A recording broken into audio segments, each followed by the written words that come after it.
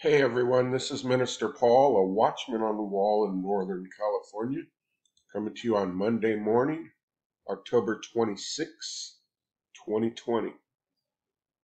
For those that attended yesterday's sermon on discernment, you already know that we're going to be fasting Wednesday for 24 hours for wisdom and discernment. So I've made this 24 hour, so it's a covers some basic details. 24 hour fast and prayer for end time wisdom and discernment. The fast begins, let me bring up the calendar. Today's Monday, so the fast begins actually Wednesday, the 28th, no matter what time zone you're in or what country you're in, right after midnight. So if you go to bed and you're sleeping Tuesday night on the 27th, it's whenever you wake up in the morning for 24 hours. And it begins again after midnight, when early Wednesday morning, when Wednesday first begins on the 28th and runs till the next midnight. So just after you start, right after midnight on early Wednesday morning, whether you're sleeping or not, fast for 24 hours till the next midnight or the next morning. You may choose the fast of your uh, your own choice, a Daniel fast. If it's all good, we've decided it's all going to come down to your health. If you have extreme dietary restrictions, like based off something like uh, diabetes, or, or some type of thing like that that the Lord hasn't delivered you from yet, then fast off the internet. If you're a heavy coffee drinker, give up coffee for 24 hours. If you're if you like to eat a lot and are just a really big eater, eat half as much. So you can do anything from water only for 24 hours to no internet, no coffee, no sweets. Give up something for 24 hours that means something to you. You know, make it hurt.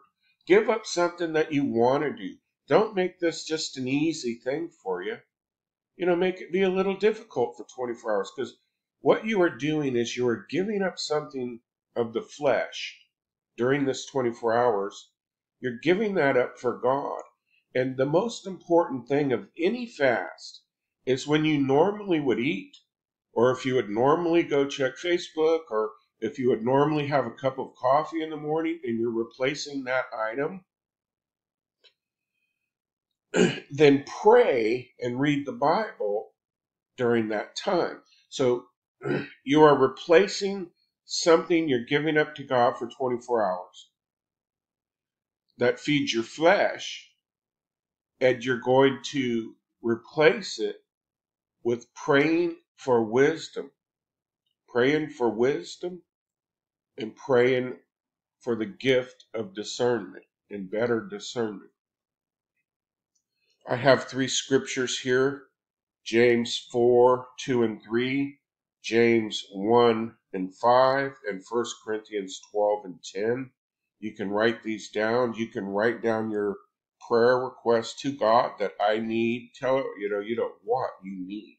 You need more discern, end time discernment of both doctrine, remember this, of both doc, true doctrine and testing the spirits. You need discernment and spiritual discernment both, and wisdom. That's what you're praying for. Discernment, the spiritual gift of discernment, and wisdom. Thank you, Jesus. So I want to back this up with scripture. We're going to do this for 24 hours in these last days and just make sure our head's on straight for God. You know what I mean? It's pretty basic. Here's some scriptures James 4 2 and 3. It says, You lust and have not. You kill and desire to have and cannot obtain. I, I received a, a prophetic word that these were that we we were asking for things of the flesh when God prefers you ask for things that are spiritual and kingdom of God related. It says you have not because you ask not. You see this? But it says ye ask and receive not because ye ask amiss. So in other words, you have not because you ask not. So we're going to ask, and we're going to ask correctly during a fast and prayer, collectively and individually. And it's going to be a powerful moment in our lives. First Corinthians 12, the particular gift you're fasting for is found in verse 10, where it says right here, to another you're given discerning of spirits. This is spiritual discernment of good and evil. And you're gonna you're gonna want this. Here's five verses. I'll put a link to this if you want to read them. All about wisdom and discernment. I love this First Kings 3, 11 and 12. Look what it says, saints. It says, God said to him, Because you have asked this thing and have not asked for yourself long life, nor have you asked riches for yourself, nor have you asked for the life of your enemies, but have asked for yourself discernment. Look at this. I feel the Holy Spirit all over me right now. You're going to receive this, saints. To understand justice. Behold, I have done according to your words. Behold, I have given you a wise and discerning heart, so that there has been no one like you before you, nor shall one like you arise after you. So you it's biblical that you can ask. Let me read this one right here, James 1 and 5. But if any of you lacks wisdom, let him ask of God, who gives to all generously and without reproach, and it will be given to him. So God does not a week. God does not need seven days or 40 days to decide whether you need more discernment or wisdom or not. He already knows. But what he's saying is he wants you to ask him eh, for spiritual things and not ask for fleshly things, and He will give you the desires of your heart. God doesn't need 40 days to decide if you need more discernment or not. So this is going to be a quick deal.